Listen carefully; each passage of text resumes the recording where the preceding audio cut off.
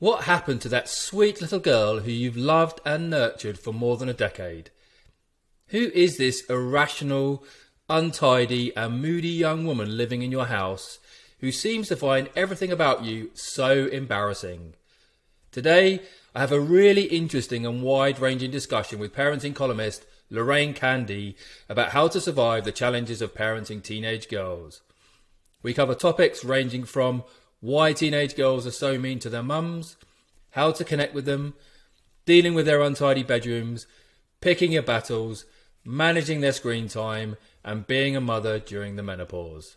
Hi, I'm neuroscientist Dr. Ben Webb, and I want to help you cultivate a healthy brain for a mentally healthy and happy life. Welcome to episode 43 of Better Brain, Better You.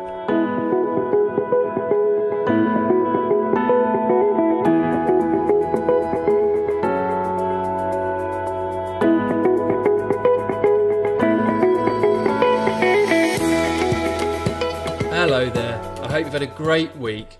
And I'm really pleased you could join me for today's episode on the challenges of parenting teenage girls with Lorraine Candy. So if you're watching on YouTube, please like, subscribe, and hit that notification bell to hear when we release new videos. And thanks so much for listening in wherever you get your podcasts. We release weekly episodes for brains of all ages. But before we get started, I want to give you a free workshop on how to parent a teenage brain. On the workshop, we share the four essential strategies for parenting teenagers to help you resolve common teenage problems, connect with your teenager, influence teenage behavior, and support a teenager's mental health. So, if you tried to connect with your teen- teenager but found it really difficult to resolve their problems and worries that they might struggle with every day, whether it's emotional outbursts, too much screen time, disrupted sleep, risky behaviors, or mental health challenges, then this workshop will definitely be helpful. You can watch this free workshop at ologyonlinecourses.com forward slash workshop. That's ologyonlinecourses.com forward slash workshop. Please do go and watch the workshop. It's packed full of our best content and some really effective parenting strategies. Okay, so today I'm going to talk to Lorraine Candy about her forthcoming book, Mum, What's Wrong With You? 101 Things Only Mothers of Girls Know. A genuinely warm, funny, and well informed guide for mothers on how to navigate the perfect storm of parenting teenage girls. Journalist, editor, open water swimmer, and mother of four, Lorraine has been writing for more than a decade about parenting and family life. She also co hosts the fabulous Postcards from Midlife podcast, supporting and inspiring women at this, at this stage of life by addressing everything from perimenopause to HRT to parenting teens. Welcome to the podcast, Lorraine. Hi, Ben. How are you? I'm good. Delighted to have you here. So, you grew up in southeast Cornwall, and I've, I've read and you talk fondly of your kind of youth during summer holidays spent on the North Cornwall beaches, swimming in the sea with your sister. And now you say you spend most summer holidays back there in Cornwall with your husband and your four kids. So Cornwall and its connections to the sea sounds like a really a really important place for you. Yeah, I think it's I'm I'm I sort of consider it my home Cornwall. It's my home. You know, I live in London now, and I've lived in London since I was uh, 16, so just 17, I think. Yeah. So, but I actually Cornwall is my you know it's kind of the place to refresh your soul, I guess. And my family are still there, so we go back a lot. You're a surfer and open water swimmer. it's a loose description, surfer, I think. that's my life's work, learning to surf, quite frankly. But um, I swim in cold water, so, and again, I just, it is a recreational thing. I'm not a competitive swimmer at all. I just swim quite slowly, sometimes in a wetsuit, but mostly not in cold water. I've just found it so beneficial to me, particularly in, in midlife. And actually, as we talk about a lot in the podcast, as I went through perimenopause, it was a real saviour for my mental health, actually. There's also good evidence that actually now, isn't there, for, for the benefits of cold water swimming? For well, there's nothing definitive, but there's a lot of research going on to it, and certainly the community around it. You know, being in nature, um, and there is actually just some evidence that it might um, help prevent dementia. There was a study done on uh, at a lido where I swim actually, which, which, there's a protein in the brain that is um, released if you frequently cold water swim. You're very acclimatized apparently, and they're researching that. So, and that uh, you know, and obviously Alzheimer's is the is the number one killer of women over forty. So um, you know, it's a big piece of work going on that. Okay, and they seem the open water swimming, swimming community seem like a seem like a lovely bunch, and it's it's a sort of female group you swim with it. It's very welcoming, and I, I, you know, I've written about this a lot, and it, it, my experiences, and I swim in lakes here as well, Shepperton Lake in Surrey, is that it's a it's a welcoming community, and it's a it's a big community of women in midlife as well. It's also you know it's something you can do on your own you don't have to be amazing at it. You don't need a ton of gadgets to do it, um, and you can do it all year round. Um, you know, I meet a lot of people who are recovering from lots of mental health issues. Open water swimming. I've just I've just found it so supportive, and you know, it's really I find it very good fun. I mean, that, that first few moments when you go in and you wonder what the hell you're doing and why on earth you're doing it. Um, are a bit odd, but after that, it's just the, the, the ripple effect for the week for me is is great actually.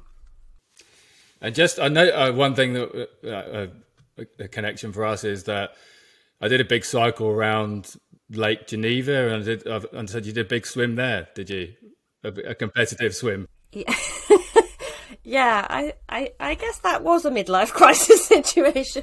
We, uh, when I learnt to do front crawl outside, um, when I was about 45, I'm 52 now, um, I just loved the swimming so much. I, we thought we would we would tackle a big swim. Where would the water be amazing to swim? We thought well Geneva would be pretty amazing, um, and probably we didn't do as much research as we as we could have done. But it's seventy kilometres. Geneva is twice the channel. It's like swimming to France and back. And we did it in a relay. Um, we did it with our swimming coach, so he's very fast and we were quite slow. But it was, yeah, it took us thirty hours. We swam through the night. It was quite. I think it was a life changing, extraordinary adventure. It was, you know, we had to train for it, we had to save up for it, we had to get sponsorship. You know, there were six of us. We worked really well together on doing it. We did a lot of social media around it, and you know, we're not fast swimmers. We're we're, we're adequate now, but um, it really was. Yeah, it was kind of something you never forget in life when you do something like that. It was a real focus for us. Amazing and cold, I bet. Geneva's quite cold, yeah. it's so big, it's really cold. Um, but we didn't fancy the channel because we just thought, you know, it's seawater, it's a shipping channel, it's mucky, it's not as, it won't be as nice as uh, uh, Geneva. But I think Geneva is probably colder actually because it's a lake, it's still water. It's slightly tidal because of the, the rivers coming into it. But yeah, it was cold. But we did, you know, we were acclimatized. We swam through the winter so that our bodies could deal with it. But um, I couldn't do it now. I'm not acclimatized now.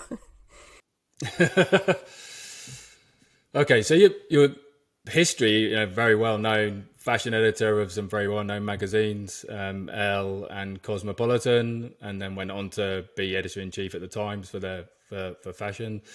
And have you always written about um, family and parenting, or was that just something that obviously you wrote about once that became an important part of your life?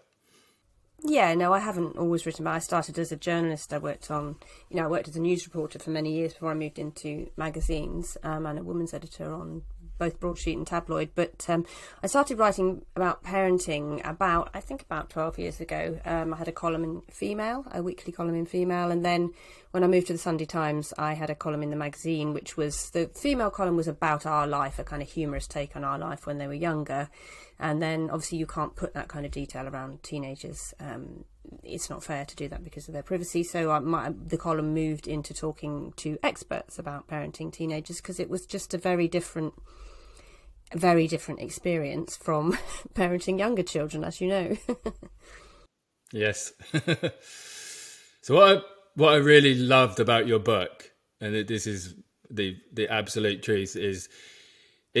So it contains advice for parents and teens, but it's you know it's based on rigorous. Well, lots of it's based on kind of what I know to be rigorous psychology and neuroscience, but packaged in warm, relatable stories and anecdotes that really really resonated with you. Was that was that was that your intention to package package the book that way? Yeah. I think I felt having read so many of these books and interviewed so many people that as mums you are you know and this is my pertinent to my experience so I'm not I have to generalize to that extent as mums you're often just being told what to do all the time and it's it's just another pressure to be told, you know, do this and then your child won't get this or won't do that. And it felt like a lot of the books are just constantly helping us solve a problem as parents. And actually, what I wanted to do was something a little bit more comforting and reassuring and to give some personal experience to make everyone feel they weren't alone that you know and every every teenager is different everyone develops at a different stage and some things may work for your eldest teens but they might not work for your number two teen or three teen and they might work for certain personalities they might and i just didn't think there was a book out there that would reassure parents without giving them a massive to-do list of stuff that they, you know, that they'd have to. We're a generation brought up on that Gina Ford book of, you know, putting babies into routines and solving problems. And it just felt to me that this is really unhelpful for most mums because they just don't know what to do. And actually, a lot of it is so simple and so easy for you to do as a parent. And, you know, a lot of it you already know as a parent. Um, and we're being bombarded at the moment as well with lots of headlines about the terrible state of mental health of our teens, which I think parents find really, really frightening. And, you know, this is not a book for families in extreme circumstances. You need to go to an expert for that. This is a book to reassure ordinary mums every day that they're doing the best they can, and also to make sure you take care of your own mental health, your own sense of who you are, because if you don't do that, then you really can't. You know, it's hard caring for teenagers, and it is a bit shocking how they are and the risks they take and the things they do, and, and also the thing that I found very pertinent to mums is they're quite mean to you. Um, they're quite mean to mums, um, and they're not as mean to dads, generally speaking.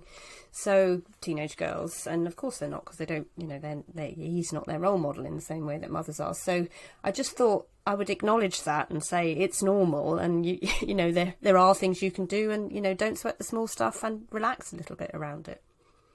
I think it's once you know and and you have the sort of guidance and you know and supportive advice that you offer in the book, then it does become simpler. But it's incredibly challenging, isn't it, for so for so many parents? And what well, and one thing that really jumped out at me is again, not really. I mean, obviously with the work we do, I've read lots of parenting teenage books.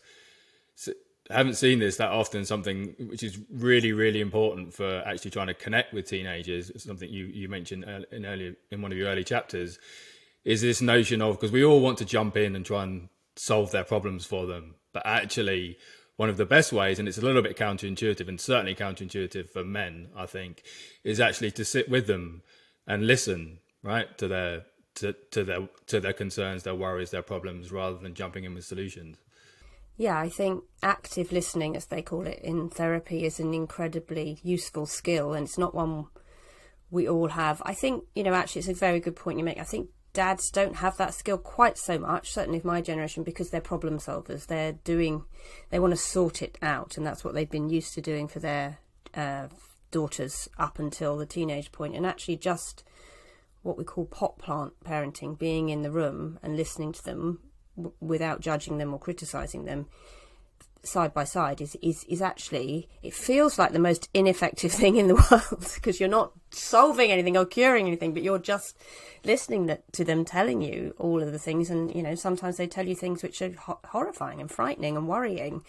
But that being able to be listened to, and I spoke to lots of teenage girls actually in the research for the book, and um, I spoke to lots of journalists who'd spent a lot of time with teenage girls. That being a letting mum listen to you seemed to be the thing that really helped them, made them feel safe, reassured, comforted.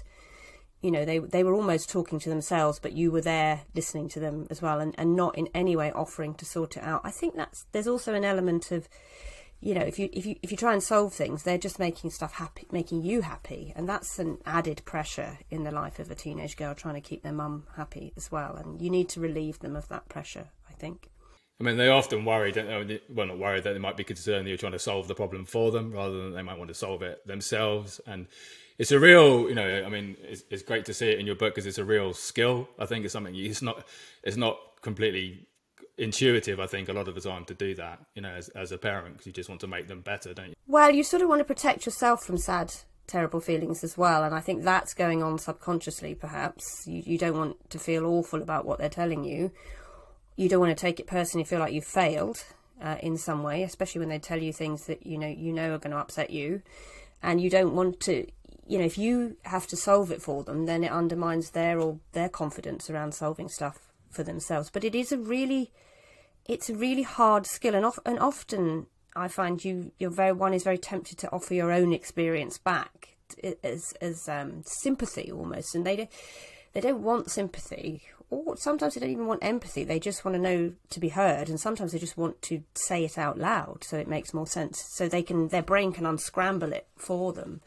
Um, I just try not to step. I try to count to five and not step in when they're telling me things, and just let let, let it all come out. And and you know they have to make really big mistakes. That's what they have to do in order to learn from it. Absolutely, yeah, and that's I think that's hard for a, as a parent.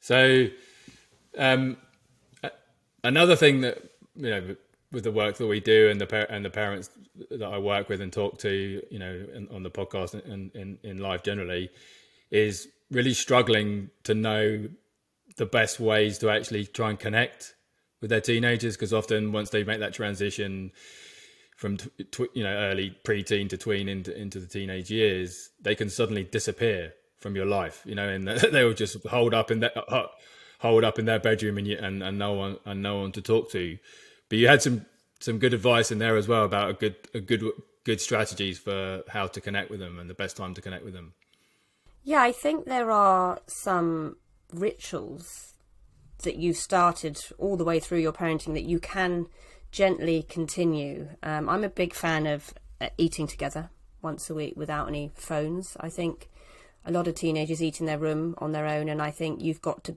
make quite an effort to get them out, and you should make that effort to keep that connection.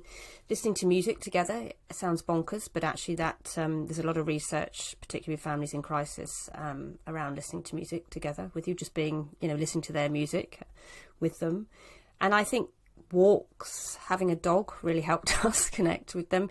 It's just every single day actively, curiously observing them and thinking, where can I connect with them today? But it's not saying, we're all going to go and do this, we're all going to go and do that. It's finding out what they want to watch on telly and sitting next to them while they're watching it, even if you don't want to watch it. It's just taking time to really observe those moments where you could be in there connecting with them, not doing anything or asking anything or judging anything or criticizing. It's making them a cup of tea and taking it into their room and putting it, you know, next to all the other empty cups of tea that's stored in there for forevermore, you know, stepping over all the wet towels. You know, it's buying them the small things that they seem to like that they may you don't may not disagree you may disagree with them eating it or doing it. It's really tiny things actually which most of the therapists i talk to just show the connection and and that connection can get stronger. It's very hard to keep that connection with teenagers because they're just simply not there as you as you say. But there are moments when they come in and they really need to talk to you. I found that my teenagers really often really need to talk to me very late at night and I'd have to really think you know, you'd have to stay up, you'd have to be around just in case they wanted to have a chat. And it's just the small things that really do set a different pattern. And that's, that can, keeping a connection is a, is a very, very strong way of keeping your teenagers happy mentally, I think. Um, but you don't have to overthink it. Yeah, absolutely we have this term in the work we do, this sort of connection before correction. There's kind of notion that you, you, you know, to, to, to, try and help them and guide them, you need to be there. If you're not already connected, it's very hard to actually help and support them. You know, when things do when th- things do come up, you know, and it's good to just be, as you say. Yeah, I think we're very busy as a generation as well. I think we, you know, we're we're always doing something. And sometimes I think just being in the house when they're in the house and them knowing that is really important. And I do make the point because a lot of um, therapists talk to me about it that, that, we probably have to slow down as parents a bit and just be around a bit more in their teenage years. It makes a massive difference to them, and that's a, you know we've got to make the decision not to be quite so busy all the time. You know all the things we do. Where is the gap to spend some time with them, but not to spend time with them doing things or asking things of them, to just be around them.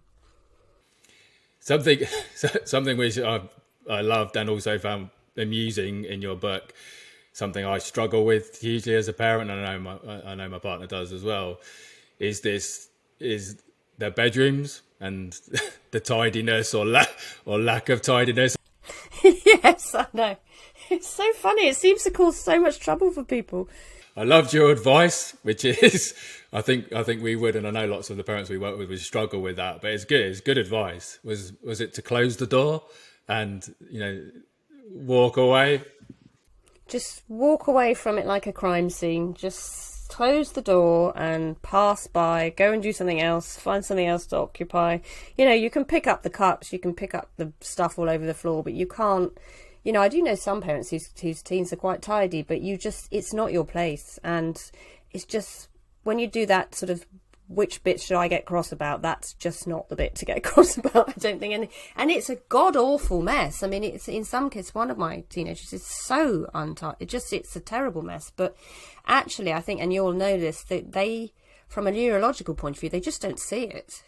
It doesn't register as something in their brain to, to deal with. It just registers in your brain because you have an adult brain that's already formed and, and, understands the importance of being able to find a pencil if it's exam revision time and all of that. But they just don't. It doesn't bother them in the way that it bothers you. So um, my advice, and, and everyone I spoke to, just I wanted to double check and double, is just to ignore it and shut the door. I did notice that in America, I'm on a lot of forums for American parents. They take the door off as a form of punishment, which feels to me like the worst kind of horrific invasion of privacy, cruelty, and, and, and, you know this is not your this isn't their room. It's not your place. Um, you know we step in every now and again when we feel it's unhygienic or we think the dog might eat something that will kill it. But you know generally I just think keep that door shut and don't go in there um, because they don't see it, so it doesn't bother them, but it just bothers you. They don't see it, and it's incredibly important because that you know that it's they're trying to make the transition to independence. They're trying to pull away from you, you know, and they they need their own space. They need their own space to be able to express themselves and be able to to do that, whatever that might look like. But I bring it up because I know it's it's a real that's a real challenge, real bugbear, a real bugbear for lots of parents. Yeah. I sometimes wonder though if it's if it's focusing on that is easier for some parents than focusing on what might really be the issue that they're talking to people about. That it's a good because it's so easy to solve the tidy the bedroom situation, isn't it? Whereas everything else is a bit more complicated. I mean that that leads us in nicely to you. another really important sort of principle almost that you, that you, raise in the book is this notion it's almost like pick your battles work you know this could be a small problem that you should leave alone you know there are so many to deal with that it's actually perhaps good to sort of prioritize, you know, the things that really matter to them and are, are going to affect them as they make the transition to adulthood. Yeah, I think that's, I mean, that's kind of all the way through parenting in a way. But I think the, the thing about you constant, if you're observing them and you're curious about them all the time, as they as they change and as things change around them, noticing major changes and completely different kind of behaviour could be a you know if they if their bedroom's a terrible tip when normally they're very very tidy and the door is shut and they never come out then obviously that's a sign something you know they might have depression that something is is terribly wrong. So it's just being that's what i mean about being around more because you'll notice the changes dramatic changes in behavior if if you're around more. But i think if you blow up at every single thing it's exhausting for everybody around, isn't it? You just have to think what's realistically going to happen if they do these things, and could I just let them make that mistake, and then we can talk about it afterwards, and they can tell me they've done it and why they think it was wrong, and they've learned from it, and they've secured a neural pathway that's a different, is a changing way of thinking about things, isn't it? Yeah, I do think pick your battles is really one of the top five things to do as a parent of a teenage girl because they feel things incredibly intensely in a way that we don't feel them. So they may, you know, if you if you remove a wet towel, that might really piss them off, and you might wonder why that is. but they're feeling it, you know, you know, it's, it's got a different significance. So just, you know, that I do think if you just work out where to go off and where not to go off, and just walk away, take, you know, walk away from it. You know, set set some. Ba- I do think boundaries are important, and I will often say to my girls, I can't if you want to speak to me like that, I don't want to talk about it now. I'll talk. We'll talk about it later, and I'll walk away or go out to, to you know not have that battle over that. But then some things that you've been very firm about and the boundary's been pushed or broken, then you just you, we need to sit and talk about it, and that's this is how we're going to talk about it. Yeah, I mean, one of those that you know, again, massive issue for parents. I mean, it's just you know pervasive, almost endemic now. I think in sort of teenage populations, uh, you know, screen screens and social media and gaming and you know again an issue that we that we that we, that we deal with on a kind of daily basis with parents and again, you had a sort of an interesting sort of take on, on, on I mean, you set boundaries, absolutely critical. No, no screens in bed after certain times of night, and, and, and you know, absolutely fantastic. But you also can see the sort of positive and the good things about screens as well, rather than it just being this sort of evil thing. I think there's a huge hysteria around screens um, as well, and that's not to downplay any parents whose children have been horrifically affected by what they've seen on social media. We're very firm. Uh, we said no phones in the room after 9 p.m. And it made us unpopular for two years. It was horrible. It was a horrible thing to go through with our two eldest children. I mean, our two younger children, we said as soon as they got the phones, you can't have the phones if you're going to have them in your room after 9 p.m. So that's a decision you deal with. If you want the phone, it's not going. So that was it was set, but we had to try and retrospectively set it with the older ones because they're 17 and 18. we were at the beginning of this screen um, journey, but but I, my sense, I've done a lot, looked at a lot of the research, um, and a lot of journal, big journalists have done it, a lot of researchers have done it, and you know, a lot of therapists have done it. There is no smoking gun around this social media and what they see. It is a combination of factors and the context within which these children are operating, and children develop at a, as you know, a very different rate. So, what might affect one teenager will have absolutely no effect on another teenager. Uh, and it might be affecting this teenager because her parents are going through some traumatic experience at the same time. So the context and the personality and the specific neurology of your child is so important when it comes to screens, and the rules don't apply across everything. Um, I do think the social media firms should be much, much better at stopping horrible stuff reach girls and that the algorithms targeting girls with eating disorders are, and pictures that they shouldn't. But then i do think you you as a parent need to help your child curate what they're looking at and the bubble that they're in. You ha- you need to help them and you need to be there to deal with what they're seeing um, and when they're seeing it and and le- helping them moderate the time they spend on screens. But just for every one I've spoken to, and, and I volunteered for Shout, the um, uh, crisis text line. Took a lot of um, texts and calls. I've worked with Suzy Godson at MeeToo, the app that helps. It's peer to peer group for teenagers. They've done a ton of research. Um, there is nothing that says it, it will have the same effect and an appallingly detrimental for every single teenager. It's much more complex than that. And if you blame it for everything, then what you don't do is look under the bed, as, as they say in therapy. You don't work out what else is affecting your teen's mental health to such an extent they can't really cope with what they're seeing online. I mean, I think that's, I know it's incredibly hard, incredibly hard for parents whose teenagers have been awfully affected by what they've seen online. But what else is going on, I think, needs to be looked at within the family groups. Certainly, the dynamic within the family groups is something that comes up again and again as, as having as not being helpful to teenagers when they're on screens with what they're looking for online. It's such a complex area, but I think just to reassure parents, it's much bigger than just what they're seeing. You know, the way they're feeling is much bigger than just what they're seeing on the screen. I suppose because I'm always thinking about it from a kind of neuroscience point of view, but the you know because you've put your boundaries in place and you know you're often say this to parents, you're almost acting like their sort of prefrontal cortex for them is not quite connected up yet. So you're providing some of the boundaries for them because they're not quite ready to make some of those decisions.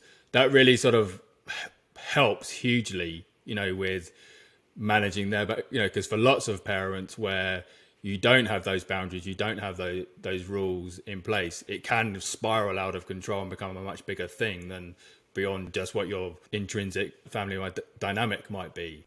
Yeah, no, that is yes, you are you are right. There is, you know, that I don't do a to do list in the book of hard and fast rules, but the only thing I'm I think is a hard and fast rule is you don't want your teenagers on their phones through the night in their rooms. I mean, you know, we all know how things feel in the middle of the night. It's it's it's much worse. You just don't want. If you can set that boundary right at the beginning. Now, you know, if you haven't set that boundary, it's really difficult to then because the moment you do, the the reaction is completely out of proportion with what you're what you're doing. And you know, we had it with our girls. They were just they were furious for two years, absolutely furious. They, you know, they said we'd made them pariahs among their friends that we didn't trust them, that it was about us not letting them grow up. It was, you know, all of those things. But it was the only thing in my head I just thought I simply can't bend on this because I don't we don't know enough about it. We still don't know enough about it. And you're right, you know, to be constantly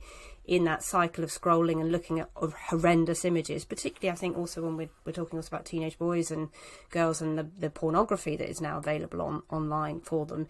You know, even the most secure child in the most secure family with the perfect upbringing is going to find that really difficult because you, it resets the pathways, doesn't it? But you, the only way to do that is to have a reasonable, good boundaries that you keep to around it. It's hard to retrospectively set them, but I think if you, you know, for parents who are worried, then I think they should try to do that. But to look at the context of everything else that's going on as well, because they, they are quite good, I think, teenagers, and we underestimate setting their own boundaries in their head once they know what makes them feel bad. And we certainly noticed with our older teenagers that they would put their phones down because they had a sense that it wasn't making them feel good and you need you know what does it make you feel? How does it make you feel? You need to keep the lines of communication open around it i think and to and to work you need to be in and about it as well i think as a parent. You need to be on social media looking at things. You need to be reading about it and you know arm yourself with some knowledge on it as well.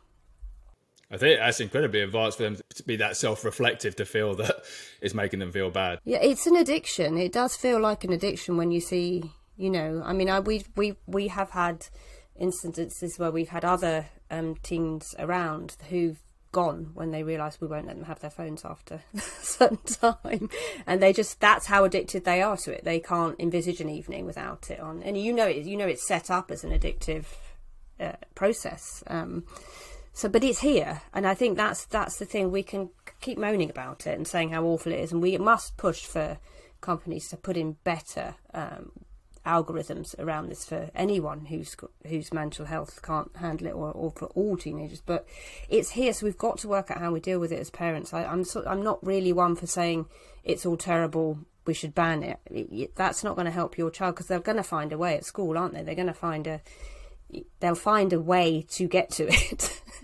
so how, you've got to start arming them with the ways of dealing with it. I think it's certainly easier for it will be easier for my nine and fourteen year old because when they got their phones, the rules were already there for them. Yeah, so you've got the consistency there throughout. Yeah, absolutely. another another one another one so that that that I really enjoyed and tickled me in the book as well because we we've had this experience again. Lots of talking to many parents about this is spending time on holidays with with teenagers. You know, there's meant to be this sort of joyful experience that you think, oh, we're going to go away and have this wonderful time. and it t- turns out at the time that it seems like they're not enjoying it any moment of it. I know. It's disappointing. but then you, but then you had, well, you had some really positive insight about that as well. Well, they have what I call retrospective gratefulness. So at the time they can't possibly because they've gone on holiday with the wrong people. It's the most embarrassing thing in the world going on holiday with their parents. And they've gone on holiday with the wrong people. They haven't they're not in control of where they're going. And then these people keep making them get up and do things. And at the time they can't show that was a real shock to me because i thought oh we've got four children we had four under 10 at one point. And i thought this is just whenever we went anywhere it was bags of stuff and buggies and you know baby seats and all of that. And i just kept thinking when they get older this will be amazing and enjoyable. And then actually it's it's not that enjoyable because you know they don't want to get up. They have a whole set of things in their head that they they will and won't do. They consider it all a massive infringement of their um, special social time where they've got huge plans to sort of stay in bed all day and do nothing. And also what you enjoy they don't enjoy and they're separating from you and they don't want you to tell them what their identity is going to be. So they don't want you to tell them that they enjoy going looking at art galleries. That's you're the last person they want to hear that from. They want to discover that themselves. I know. I think I recount in the book the just most. Also, they don't want to walk anywhere, and if they do, they need to carry they need to carry about forty eight gallons of water. So I mean, it's you know, it all feels out of their control and.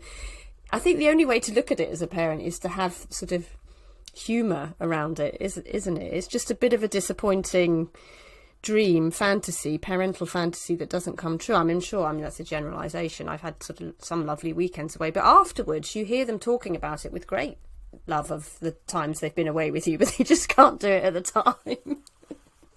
I love that. I didn't. That's, a, that's a new one for me, but I absolutely love that. that yeah, it's fantastic. So a kind of slightly kind of more broader point. I mean, one, one thing that's really really important, I think, for for parents of teens as well is you know you need to be kind to yourself thinking you know because it's such a difficult journey for for for for, for many parents. And as you say particularly you know for mums of teenage girls because of that particular relationship and you know and, and some of the hostility that that you experience. No it's just the worst. Yeah i wondered whether you know whatever your belief system might be whether it's evolution or if you're religious if it's god what what they were actually thinking when they designed the timing of perimenopause to coincide almost perfectly with with children arriving at the most kind of confusing time in their life.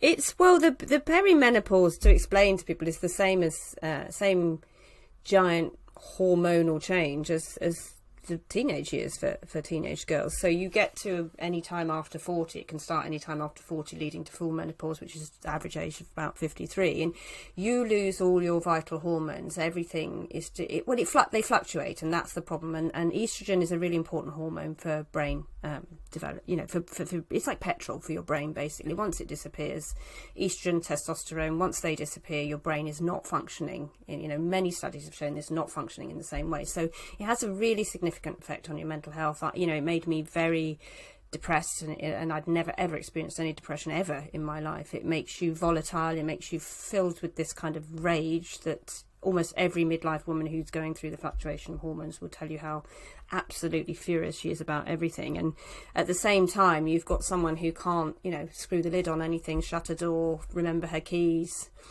talk to you politely. you know, her hormones are just flooding in, and she may be suffering all the kind of um, premenstrual um, cycle of hormones that are causing all sorts of things in her brain as well. You know, there's a lot of research around teenage girls shouldn't really be taking exams in the week before they um, have their periods because their their hormones are, are, rioting basically. So this is all happening at the same time, and I didn't think anyone. I hadn't read this anywhere. So you know, I had my first child at 33, and um, I was sort of, you know, 45 when they started to become teenagers. So I hadn't read this kind of, you know, you, you, you don't take care of yourself at this time. You can't really take care of them. And then you just feel a complete and absolute failure for the whole time. And then the big scandal, obviously, in this country is that no one, GPs don't prescribe HRT as they're supposed to because of a mistaken, flawed survey that um, said it was a risk of breast cancer, which it isn't. And it was a survey done on a on a, an a form of HRT not used anymore even. So um, and it was on women over 65 so it's that survey that really threw GPs and I completely understand why. So you aren't getting any and many women aren't getting any help uh, with this. You know, they they are GPs aren't helping them, and they're in a terribly low place. And at the same time, you've got a very kind of volatile other woman in the house, a woman to be in the house, and it's just I hadn't read that anywhere, and I just wanted to say to all the mums, if you don't sort this out, if you don't start to take care of yourself, because a lot of doctors will offer antidepressant instead of HRT which for most women is, is is easy to take, and it is a low. It, there's a lower risk of taking today's HRT than drinking two glasses of wine today of breast cancer. So it's quite a complicated area. But if you don't care for yourself, if you're not putting in the effort to get the sleep, and because you lose your sleep, uh, then it's quite hard to manage a teenage girl who is rejecting you because she has to, and separating from you because she has to, and also there's just this sense of grief around all of it because you know I was absolutely heartbroken when my 18 year old left home for university heartbroken. And then also at the same time you're coming to the end of your time as a, as a, a, reproductive woman who can have children. It's a different stage of life and there's a sense of grief around that. You're much more aware of how many years you have left to look forward to. It seems to come into really sharp focus around the age of 45 and all of that you know your time is speeding up and going fast and her time is stretching out. You know between the age ages of 12 and 17, if you think about what your daughter is like at 12, by the time she's 17, she's a completely different person. And that time has gone so fast, that change has been so fast for her, but you're sort of looking ahead thinking, uh, how much time have I got left with, with her? And I didn't think also that mums, when you're in the swirl of parenting, you don't realise how little time you have left. And I wanted that people to take a bit of a moment when you're going to lose your rag over something to think, hold on a minute, there's only six months left of this. Maybe I won't lose my rag over that then. maybe I'll, maybe I won't make a stand over that uh, because, you know, we haven't got this time together anymore. It's really precious. So I wanted to make that point in the book quite strongly, and I wanted to point out that the fluctuating hormones has an extremely big effect on your brain activity, as I'm sure you know. It's just a really, really challenging and difficult time, isn't it? And particularly as is, the the advice in the UK is quite confusing and contradictory. And I know that you're a big, big, you're a big advocate for for better understanding of perimenopause and particularly the ways that GPs GPs deal with it. Would you have a specific advice there for help, helping helping I, th- I think they need to go on. There's a website um, that a doctor called Louise Newson, who's a big research doctor, runs, um, where all the information is, and she's and there's quite a few really brilliant books about it. I think arm yourself with, you know, and if you can't take HRT, there is a lot of lifestyle changes you can make and other medicine that could be helpful to you. So, just get arm yourself with the knowledge. If you're feeling if a bit brain foggy, a bit depressed, you're not getting any sleep. I mean, hot flushes are the least of our worries, quite frankly, during the perimenopause time. But it, it's there are so many. There's tinnitus is a symptom, vertigo is a symptom, dizziness is a symptom. You know, you you change shape, you you are you have an inability to drink alcohol in the same way. So much changes, but there are lots of little things, and I think when that time is very busy, you can sort of think it's nothing to do with me. This is just because life is really difficult and busy. And actually if you there are there's so much you can do to make it quite good quite quickly and then you're in a better place to deal with all the changes you're dealing with with your teenage girls. And i you know and it, it's right that they should know about it. And i think also the other point i'm making in the book is for mums to really investigate the hormone effect on girls um, as they develop from 12 to 17 because it really can affect them. And there are there is medicine that girls can take to, to make you know and it's also often a sign of things that that might need checking out. And we often ignore it and just assume you know i think society often assumes women need to just endure pain in this way because that's just natural that we should go through this. But actually there's a lot you can do to make it better and to be more helpful. And i think it's worth exploring that with your teenage girls. It's not fixing a problem for them it's getting them to be knowledgeable about it. Yeah and still still not good advice and support generally speaking from GPs you're finding? No I think um, it's it's very uh, they're, they're not giving any training on menopause um, and perimenopause. Um, so it's very hard for GPs to know everything but this is 51% of the population. It's 13 million women as we speak now. So it's not about knowing everything. This is about knowing something that will affect every woman. So you do need to know this. Um, it just hasn't been given the priority that it should be. I think it will be now. Um, but I think if you, you you know you're not happy, get a second opinion, talk to another doctor, find the expert, read the books. You know, ask for what you think will make a real difference to you. And I think there's a kind of army. Gen X are quite angry anyway, and I think there's an army of us now starting to change the narrative. And I do think GPs are beginning to really work out what the facts are. Um, I think probably more so here in Europe than anywhere else in the world. So it, it is changing. The, the, facts are getting out there and it is changing. But I think you need to be mindful of it if you've got teenagers because it's a very challenging time all round for everybody. Yeah, I think I'd point point uh, our listeners and watchers also to, to Lisa Mosconi's work.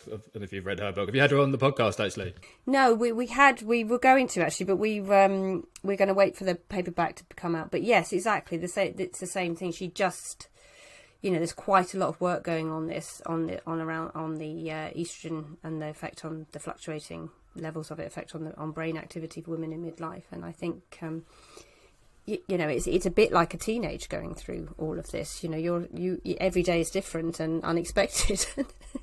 you know, and I think it's hard for women if they don't know what what's happening, and we certainly should be able to talk about it. Absolutely, yeah. So, so, so something that you, I think you reflected on in the book, and I've certainly heard you, or I've read you, or heard you talk about before, is this sort of, you know, that you're obviously sharing some quite intimate details and and you know and a kind of inside view of your life with your with your teenage children and a husband. Have your teenage kids read the book? Would they be interested in reading the book? Yes. They don't care. um, it's that's that's such a tricky. We're we're the Facebook generation, aren't we? And that that's such a tricky. It's a very tricky line to tread. Um, and I think certainly when I was keeping a kind of weekly diary in the papers before I overstepped the mark, I went too far, I gave too much away, and I, I really, I it's Steve Biddulph the, who wrote Raising Girls and Raising Boys, the uh, Australian uh, therapist, was very. I had a very honest and open conversation with him. I just went. I did too much, and I really, I regret that.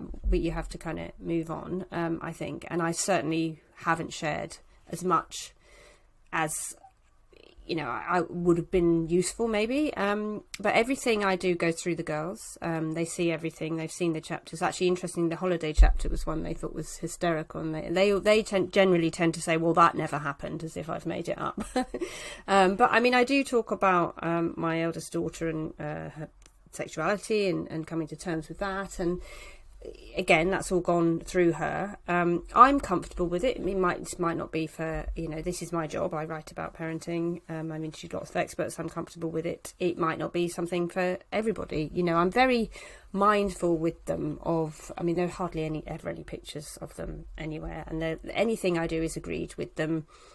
And I feel that at their age they are mature enough to to do that. But I think it's something we all have to think about the sharing of all our you know, in family life um, without them having what they call informed consent. Because how can a ten-year-old say yes to something they can't possibly know? And you know, and obviously, I've been on the other side. I've been, I've, I've employed hundreds of young women um, through my role, and I will always check their social media. Uh, before I employ them. In fact, there's people I haven't even interviewed when I've looked at their social media and thought this is this wouldn't work. It's so, you know, it lives forever. All of it, all of this stuff. So I, you know, I feel comfortable. I, I hope it's, you know, the aim of the book is to be helpful and.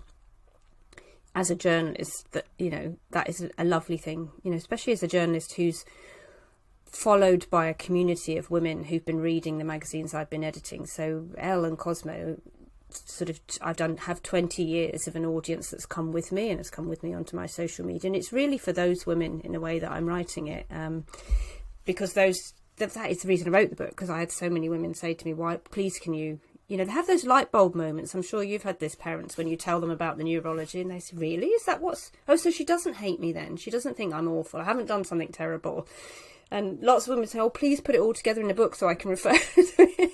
Um, and I sort of felt that that was, you know, this is how it how it works. I'm comfortable with the privacy, um, but as I say, it might not work for everybody. It's such a, I think it's such a powerful thing having an alternative, sometimes biological explanation or psychological explanation, or you know, explaining the behaviour that it's not, it's not you. You know, there's there's some actual, you know, some genuine biological reasons why they're behaving the way they do. Well, there are, and once you know that, you can move forward and get on with it, can't you? And hopefully give yourself a break and give them a break. The whole point is to give them a bit of a break, you know. Exactly, exactly. Something that I'm going to be, I'll be remiss not to ask because my, my, my youngest Evie who generally is you know like, like yours completely embarrassed of everything that I do and I do online. But she she asked me if I if I could ask do you connect with te- your teenage children over fashion? Because she's really she's really into her fashion. She wants to become a fashion designer. So as soon as as, as soon as I told, told told her that you were coming on she was like oh she suddenly became interested in what I was doing.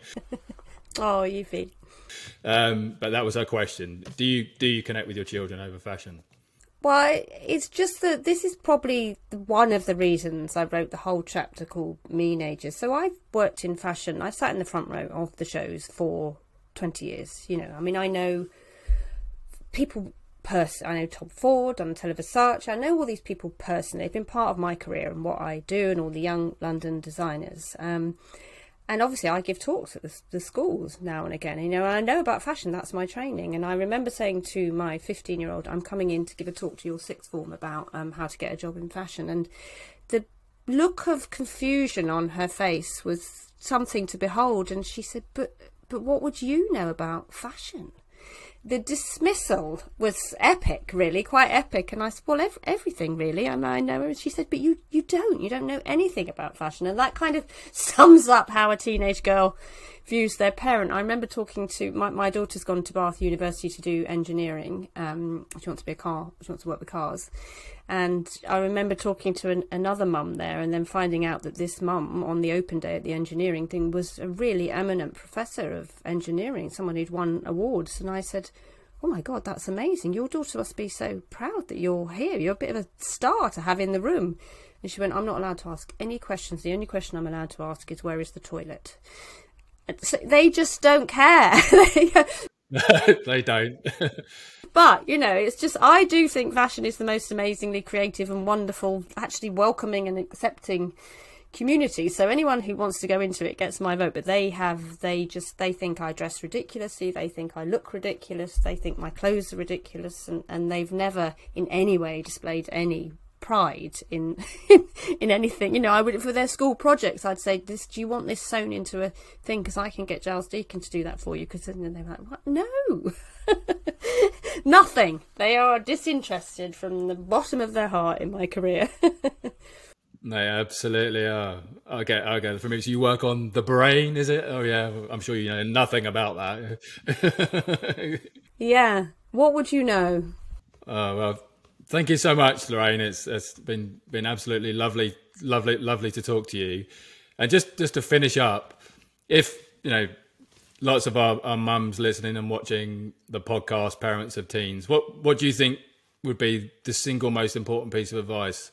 you would give to a mum of a teenage girl or of a, of a girl making starting to make that transition into the teenage years? I would say don't panic. Just relax. Make sure you look after yourself. And she can do hard they can do hard things. Kids can do hard things. I think that's the bet, you know, they can do it. Just let them do it. And they're all different and they're all developing at such a different way. Just be really tuned into the differences of your child and don't be overwhelmed by it. Just relax. I think that's the main thing. Just just take that breath and relax. oh, absolutely. Thank thank you so much, Lorraine. It's been really lovely talking to you. Thank you, Ben. And good luck to Evie. So thanks so much to Lorraine for some really interesting insights about parenting teenage girls. Her new book, Mum, What's Wrong With You? 101 Things Only Mothers of Teenage Girls Know, is available to buy from the 10th of June and is a must read for mums of teenagers. But before we finish up, a quick reminder of our free workshop we're offering on how to parent a teenage brain. On this workshop, we share the four essential strategies for parenting teenagers and you can watch the free workshop at ologyonlinecourses.com forward slash workshop. That's ologyonlinecourses.com forward slash workshop. I hope today's episode on parenting teenage girls with Lorraine Candy was helpful. It's been a pleasure spending time with you, and I will look forward to seeing you next time.